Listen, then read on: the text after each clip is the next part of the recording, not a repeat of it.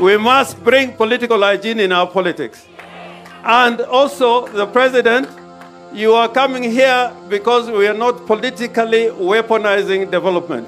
Safi kabisa, mtazamaji wangu, umeweza kupata kionjo jinsi ambavyo mambo yalikuwa upande wa Siaya County, kaunti yake bwana James Orengo, mahala ambapo William Samoei Ruto aliweza kufika baada ya kuweza kutoka upande wa Kisumu. William Samoei Ruto ameanza rasmi ziara yake ya siku nne upande wa South Nyanza, na nataka niweze kukuelezea kila kitu ambacho kiliweza kutokea day one zile ahadi ambazo aliweza kuwapea Wakenya za uongo, jinsi ambavyo James Orengo aliweza kulecture William Samoei Ruto, na ni kitu gani hichi ambacho kiliweza kufanya James Orengo kuweza kumsomea William Samoei Ruto hadharani.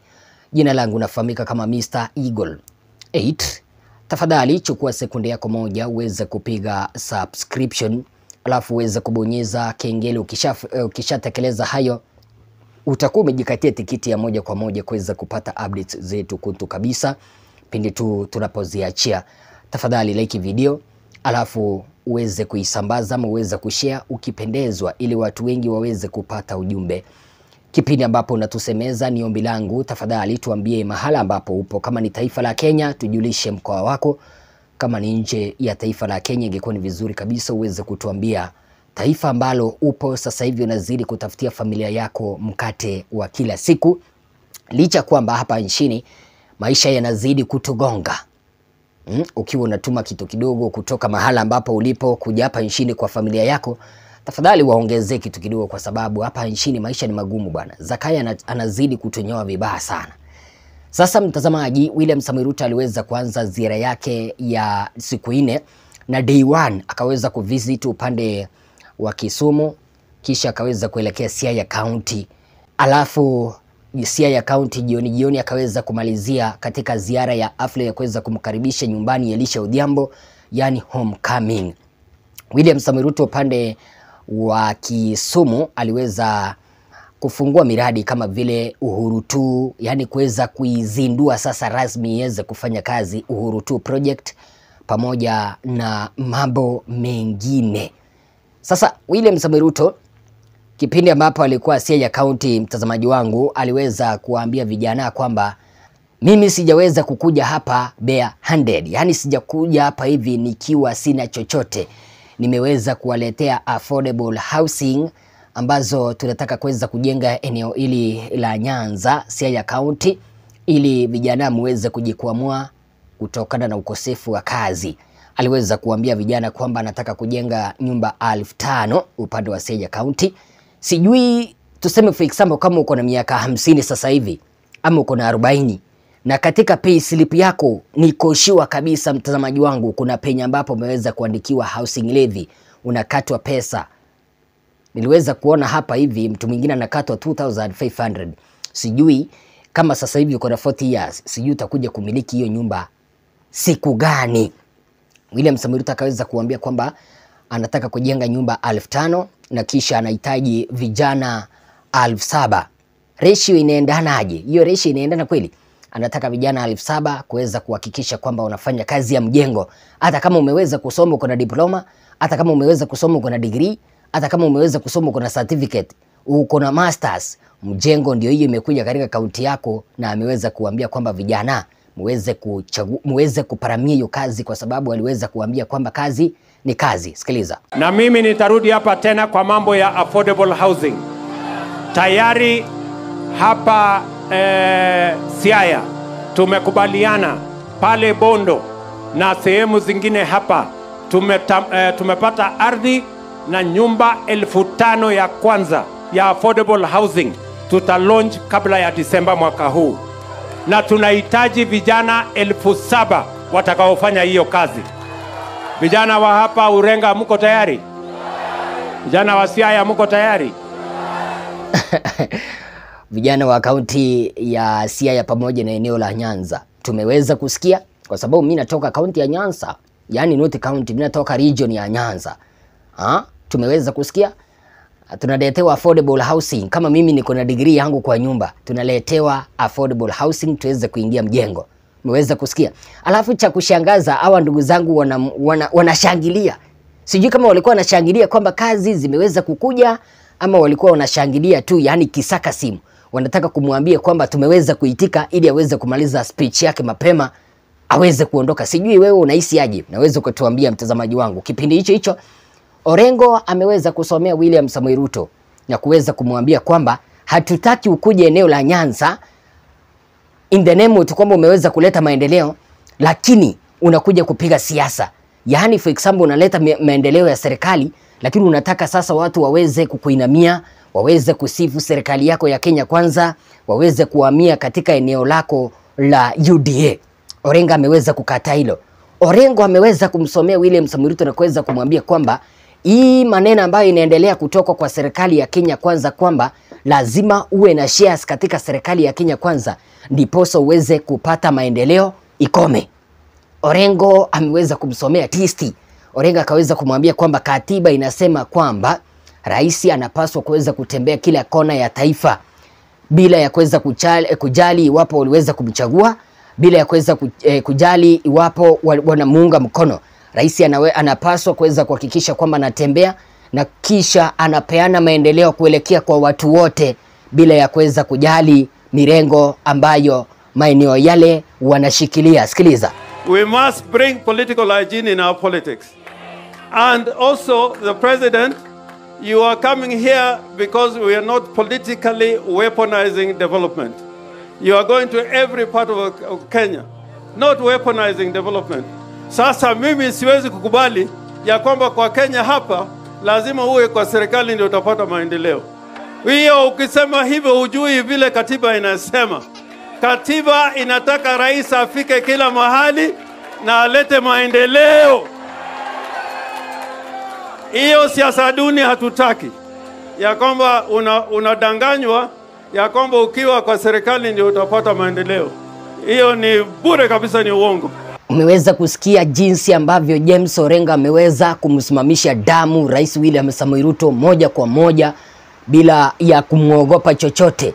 Ameweza kumwambia hatutaki uweze kuleta maendeleo alafu aanze kusema oh, serikali ya UDA. Hapana, ni serikali ya Wakenya wote imeweza kuleta maandam, eh, maendeleo, sio maandamano, mtazamaji wangu, maendeleo. Kipindi hicho hicho William Samoei Ruto alipoweza kuona ameweza kukabwa koo naye James Orengo, William Samoei Ruto aliweza kusimama tisti na kuweza kumjibu Orengo. Ruto aliweza kusema kwamba Wakenya wote wako na uhuru wa kuweza kupata maendeleo irrespective ya vyama ambavyo wanatoka. Akaweza kuambia watu wa Siaya, mtu yeyote asiwadanganye eti kwamba hii serikali ya Kenya Kwanza sio yenu. Yule yeyote ambaye anawaambia serikali ya Kenya Kwanza sio yenu, huyo mtu hafai. Na mimi nikaona mtazamaji wangu, hii message ilikuwa inaenda moja kwa moja kwake Rigathi Gachagua ambaye amekuwa akisema kwamba serikali ya Kenya Kwanza ni ya shares. Hadi viongozi wa Kenya Kwanza wamekuwa wakimkataza ili neno ambalo anatumia kwamba serikali ya Kenya Kwanza ni ya shares. Unanielewa mtazamaji wangu? William Samoei Ruto akaweza kuambia wakaaji wa eneo la Nyanza kwamba serikali ya Kenya Kwanza ni yao, na mimi naona hapa alikuwa na mkaanga tu moja kwa moja Rigathi Gachagua. Sikiliza. Na watu wa Nyanza, mimi nataka niwaeleze, mtu asiwaambie ya kwamba muko nje ya serikali. Hii serikali ni serikali ya Kenya, nyinyi munalipa ushuru na nyinyi ni wa Kenya. Hii serikali ni serikali yenu, nyinyi mnanielewa? Na tutahakikisha ya kwamba hakuna sehemu ya Kenya itabaguliwa kwa mambo ya maendeleo kwa misingi ya siasa. Tunataka kuhakikisha ya kwamba Kenya ni moja na tutaungana sisi wote kama viongozi ndio Kenya iweze kusonga mbele. It is primitive and backwards for anybody to imagine that any region of Kenya cannot get development on account of how they voted. That is not right, that is not correct, and I want to assure the people of Kenya that we are going to move together as one nation. Umeweza kusikia mtazamaji wangu? Je, kulingana na wewe, si unaona huu ujumbe ulikuwa na elekezo moja kwa moja kuelekea kwake Rigathi Gachagua ambaye amekuwa akisema kwamba serikali ya Kenya Kwanza ni ya shares. Eti kama kama uliwe, hukuweza kupigia William Samoei Ruto kura ama katika eneo lako halikuweza kupigia William Samoei Ruto kura nyingi, hamtaweza kupata vyeo. of course inaunga William Samoei Ruto mkono, maneno ambayo ameweza kusema kwamba serikali inapaswa kuwa ya Wakenya wote, lakini ameweza kufanya nini kuonyesha kwamba serikali ya Kenya kwanza ni ya Wakenya wote? Anafaa kipindi ambapo anateua mawaziri hapa nchini ama kipindi ambapo alikuwa anateua mawaziri, si eti kwamba eneo la Nyanza an, e, South Nyanza anapeana waziri mmoja peke yake ili udiwalo, alafu unakuta kwamba maeneo ya Kisii kaunti na Nyamira anapeana waziri mmoja, kwani hakuna watoto wengine wenye angepaswa kuweza kuwa hata na mawaziri wawili watatu, lakini maeneo ambayo ni ya Central pamoja na maeneo ya Rift Valley yakaweza kuvuna vinono in terms of mawaziris. Alafu hapa sasa hivi anakuja kutuambia kwamba serikali ni ya Wakenya wote hmm? Na nielewa mtazamaji wangu, kipindi hicho hicho mtazamaji wangu, kipindi ambapo uh, William Samoei Ruto pamoja na viongozi wa Kenya Kwanza walikuwa upande wa Siaya County, Kimani ichungwa na ule mdomo wake wa kupiga kelele kuweza kuingilia chama cha ODM hakuweza kuficha kule hakuweza kuona kwamba hapa ni ngome ya ODM, wacha nitulie. Aliweza kuamua sasa liwe liwalo, akaamua kuchongoa chama cha ODM.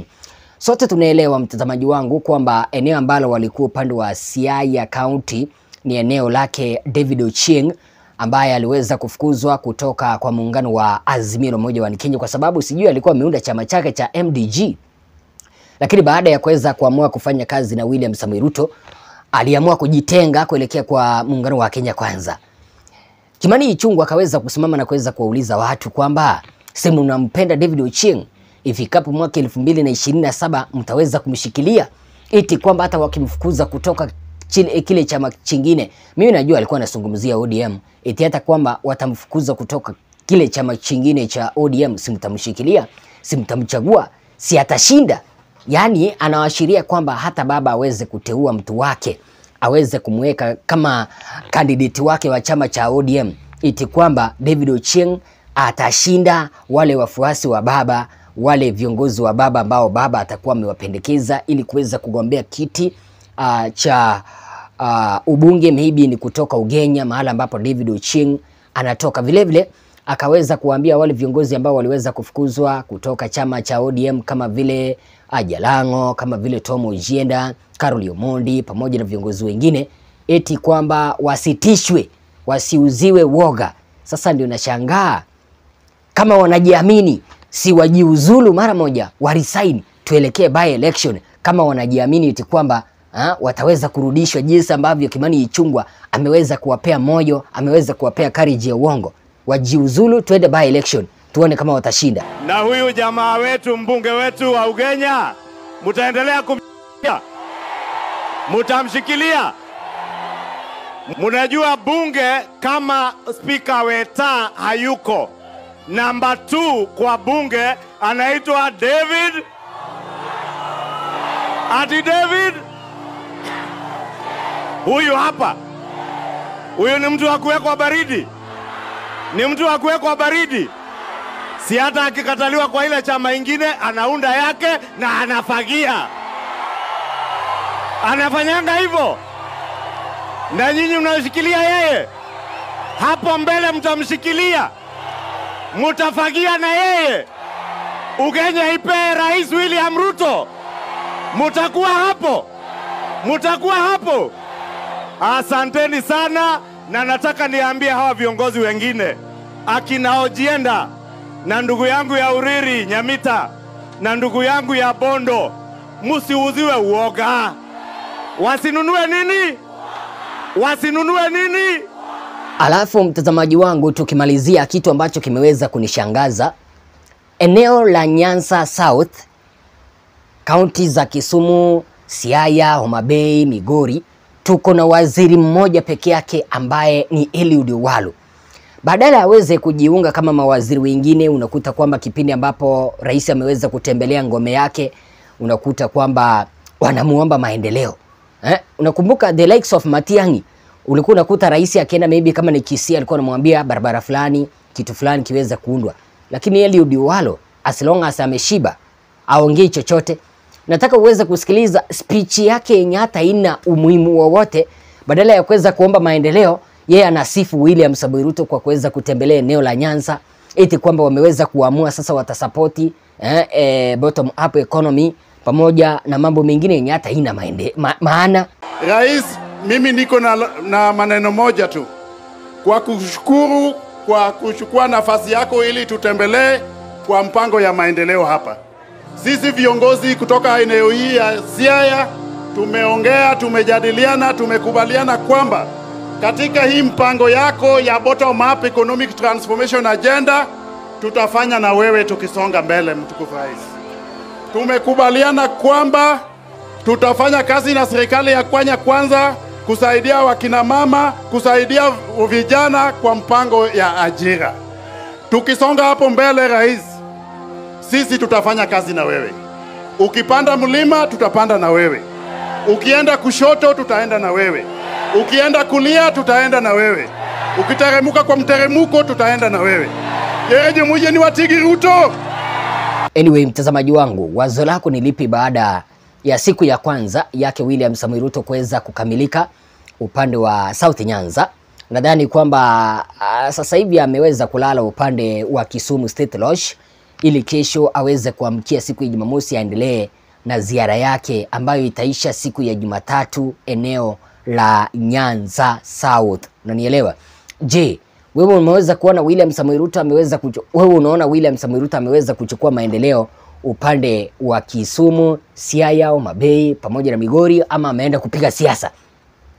Tumeweza kuona akifungua ma- mavitu vidogo vidogo vya kuweza kufuga samaki, samaki waweze kuzaana kule, pamoja na kuweza kufungua mradi wake Uhuru Kenyatta, ule mradi wa ile meli ambayo inafahamika kama Uhuru tu iweze kufanya kazi, lakini mambo mengine yote tumesikia akisema kwamba anataka kuleta uh, mambo na housing project, anataka kuleta mambo na online digital uh, works, mambo na mengine. Wewe umeweza kuridhika kweli na hii ziara yake William Samoei Ruto upande wa Nyanza? Je, ziara hii itaweza kuleta maendeleo ama ameenda uh, kupoteza wakati wa watu wa upande wa Nyanza kwa kuendelea kujiundia jina kabisa? Sema nasi na rejea na mingi zaidi. Tafadhali usikose kupiga subscription